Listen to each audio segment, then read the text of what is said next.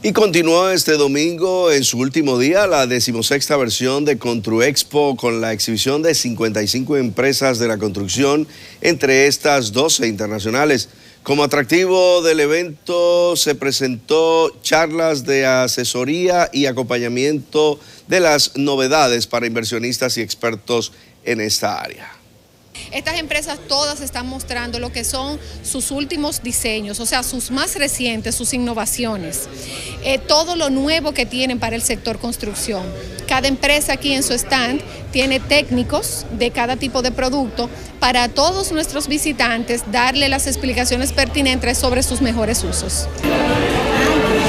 Construexpo es la única exposición del sector construcción en la República Dominicana que ha permanecido durante 30 años celebrándose cada dos años.